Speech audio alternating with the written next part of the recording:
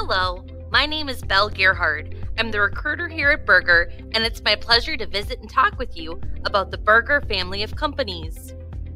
As you may know, this year marks Berger's 110th anniversary, and today I would like to take you on a journey that began all the way back in 1910. Now it's time to meet a man who saw a tremendous opportunity years ago. His name is Carl Berger. With Minneapolis experiencing explosive growth in the early 1900s, Mr. Berger took advantage of this growth and founded Berger Transfer and Storage in the spring of 1910.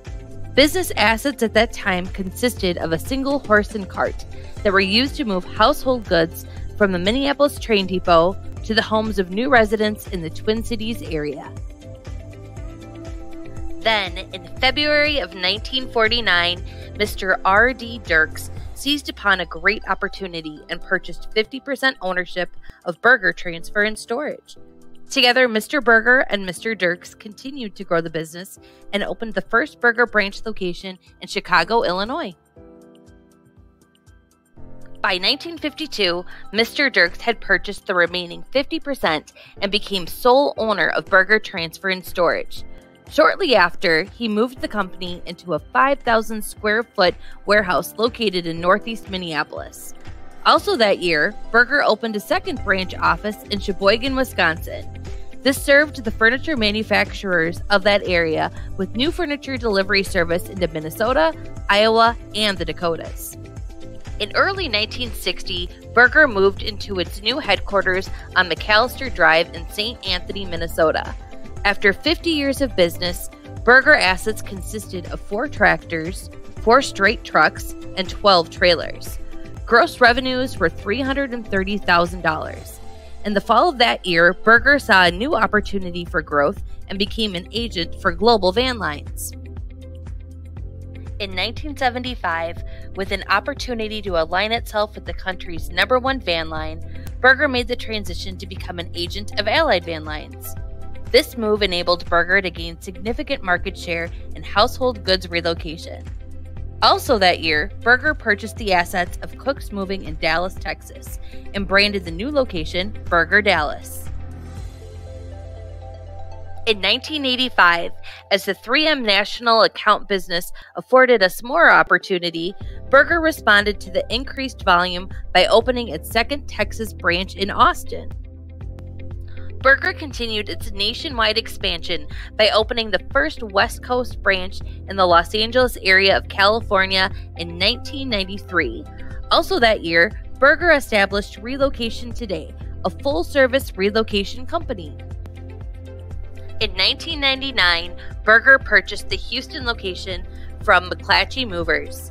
With the addition of the Houston office, Berger had three branches operating in the state of Texas. In 2001, Berger took advantage of a huge opportunity and experienced explosive growth with the acquisition of eight new locations. Purchased from fellow Allied agent MP Movers, Atlanta, Charlotte, Cleveland, Cincinnati, Columbus, Kansas City, St. Louis, and Louisville joined the Berger ranks. Berger also gained two individuals that went on to become Berger Network managers Brian D'Antonio, and Randy Underwood. 2001 was also the year Berger established Logix Transportation. In 2005, Berger gained its fourth Texas location with the opening of Berger San Antonio. Three years later, Berger continued to expand into the Southwest with the opening of Berger Phoenix. Berger Tampa followed with the 2010 acquisition of Cook Moving Systems. And finally, in 2014, Berger purchased its newest branch in Las Vegas. The Beyond Distribution Authority was also established to help grow and diversify the wide variety of services that we offer today. As we celebrate 110 years of service, Berger has grown into a premier household goods moving and distribution company with 16 nationwide locations, over 400 employees, hundreds of owner operators, and annual revenues in excess of $140 million. Today, Berger continues to be owned and operated by the Dirks family and has grown to become one of Allied Van Line's largest asset based partner agents. From a single horse and cart in 1910 to a nationwide full service moving company today, we think Carl Berger would be very proud of what he started.